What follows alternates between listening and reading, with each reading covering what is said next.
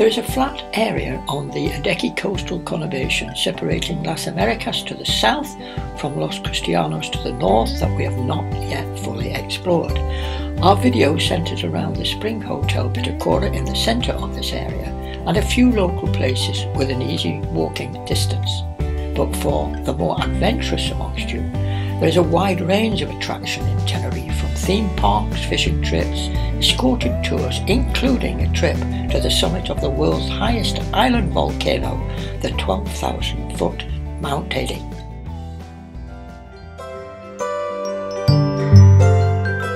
The hotel and grounds are in a square configuration where two sides of the square are hotel buildings and the remainder pools and recreation.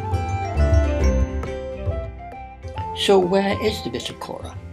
Well, you will find it a junction of Calle, California, on the Avenida Antonio Dominguez, along with the hotels La Siesta, the Optimist Apartments, the Volcano, the Best Tenerife, and the H10 Conquistador in Las Americas. The Bitacora is one of three spring hotels in this area. The other two are the Volcano and in Los Cristianos, the Arona Grande the Bitacora main entrance on Calle, California, which is a cul-de-sac off Antonio Dominguez. Fancy some pedal power? Well, you can hire them. This is a binnacle, a piece of ship's furniture where navigational instruments are housed and from which the hotel gets its name, Bitacora. During our stay, the hotel was in the final stages of renovation of the last 36 rooms, part of the reception area and the construction of an additional lift. The room service lifts stop at ground level. There is a separate lift on this floor that takes wheelchairs or pushchairs one floor down to the restaurant and poolside. If you're looking for your holiday rep, they use this area.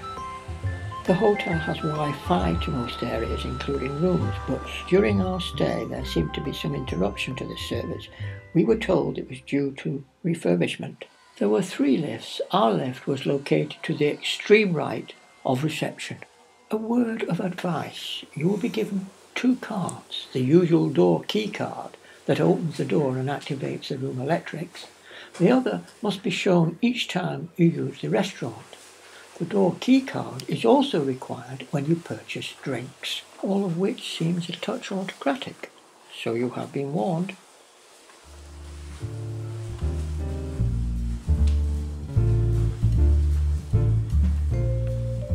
Four one eight is a standard room with a pool view.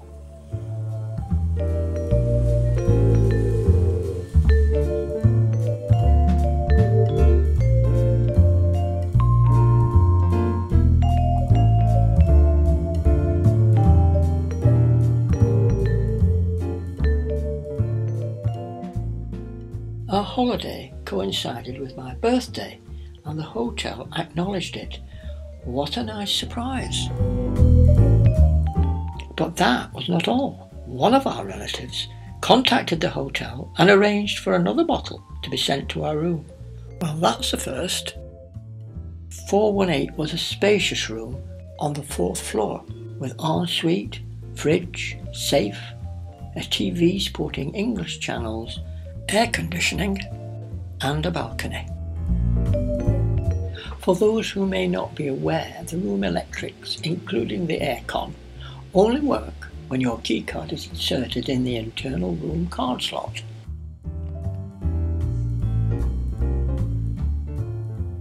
The first place we look at in any hotel room is the bathroom.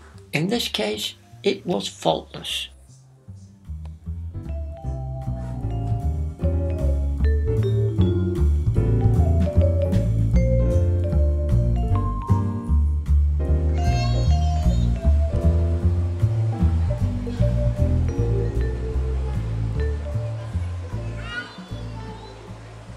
View from the balcony was mostly of the pool area and adjacent hotels, but on occasions it was possible to get a glimpse of the sea and the island of La Gomera some 50 kilometres away.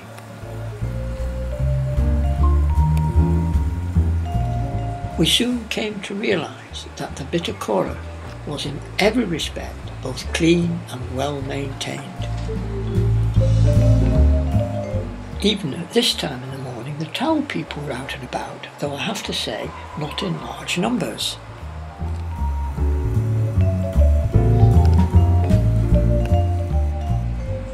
The roofed area below is part of the bar and also where the evening entertainment is presented. Although for us it could be a little noisy, mid-afternoon by the pool for about an hour or so, evening entertainment stopped between 11 to 11.30pm.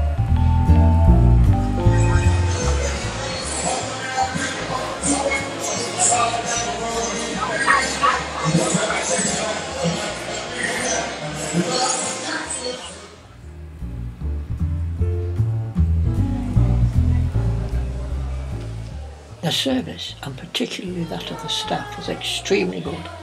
We couldn't truthfully fault them. Gentlemen, a dress code requires you to wear trousers in the restaurant in the evening, definitely no shorts. Although the food was not exceptional, it was both varied and plentiful. On one evening, there was a chocolate fountain that formed a sort of centerpiece. From purely personal observation, the hot food was occasionally not all that hot.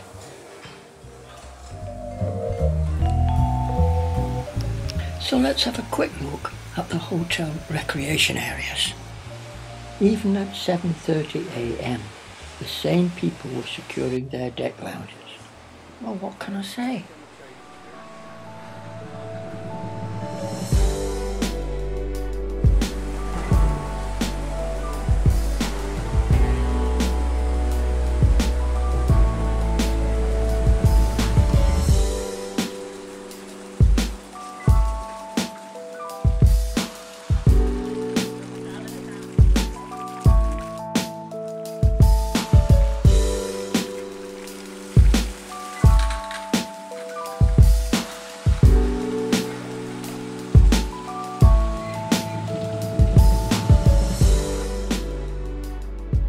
Leading away from the pool bar is a small inclined red path that will take you to a fenced children's play area with a self-locking gate.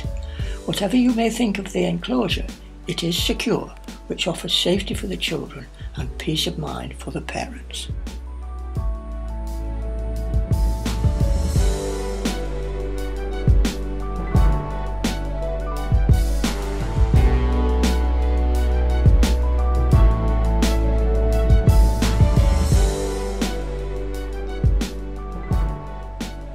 This is the poolside entrance to the games room that can also be reached from the restaurant level.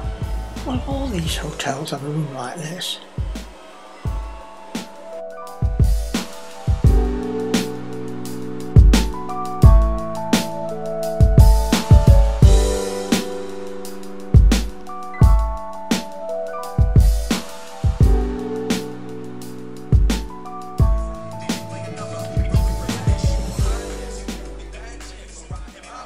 There are two entertainment areas, one on the restaurant level for the small children at the daytime, and on the bar level another for the big children the night time.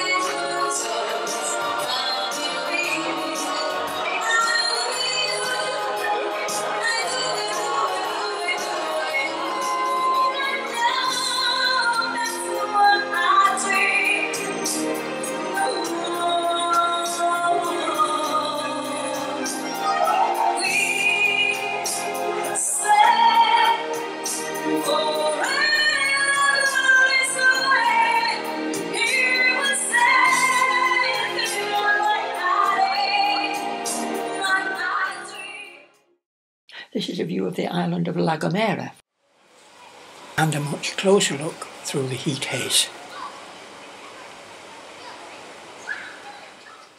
Referred to as the Magic Island because sometimes you can see it and sometimes you don't. Meanwhile below us, some people are having fun on the water slide.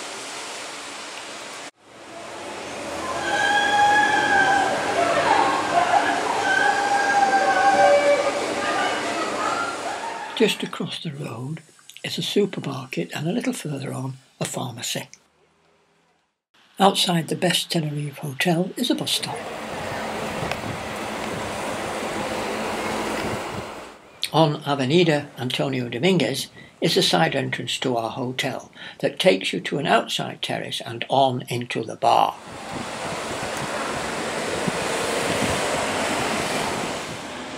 Across the road is the sister hotel Vulcano. Take the pedestrian way to the left of this hotel and it will lead you to the English style corner bar. Well, it is on a corner.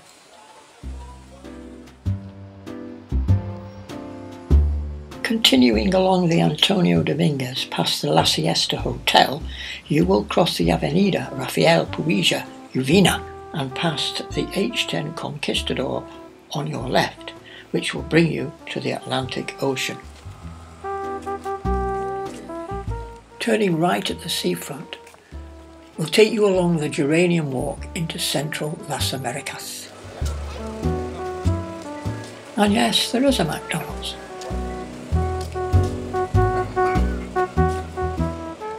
Across there in the distance is Duque, the upmarket part of the Adeje conurbation, and the best prices too.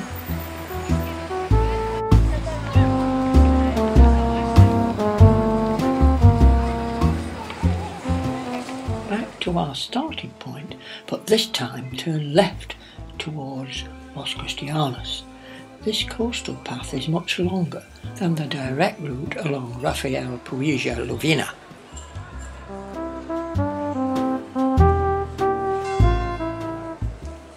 A couple of years ago, we purchased some items from this shop, but it's closing down now. A sign of the times, I suppose. We liked this Dutch style bar on our last visit two years ago, so we came back again this year. And the proprietors remembered us.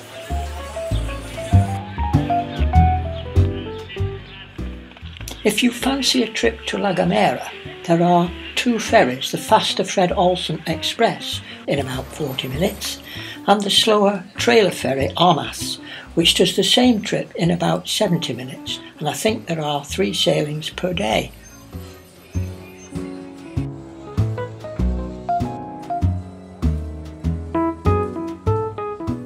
Of Tenerife, you can always say there's an inexhaustible supply of restaurants and bars that will suit every pocket and taste.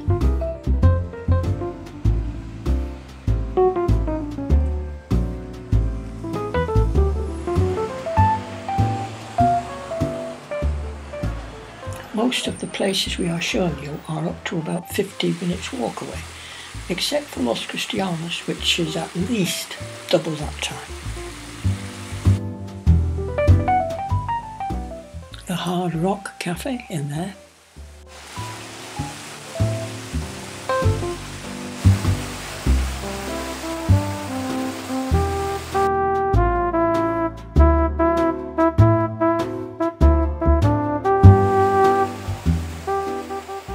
different it all looks at night.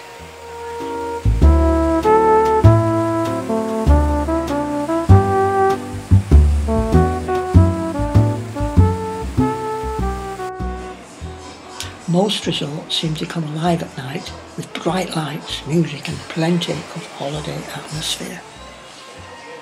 We are going window shopping.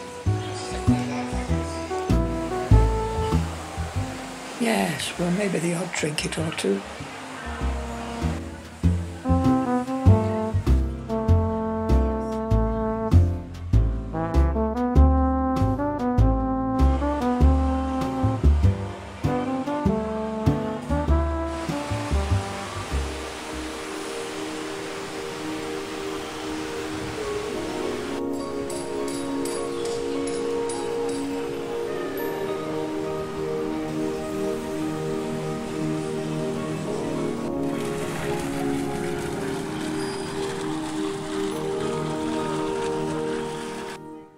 Bar.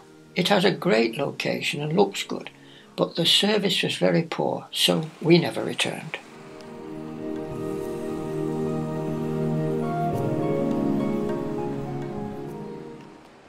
Across the road from Zara on the Avenida Las Americas is the Vista Sur shopping centre and the beginning of Los Cristianos. Remember I mentioned the coastal route? Well, this is where it arrives. The Bitacora is a good all-round, family-friendly hotel in a central location. For us, however, the lack of a full sea view detracted from its appeal, but also because the entertainment was often just a little too noisy for us, but maybe not for the rock chicks around us.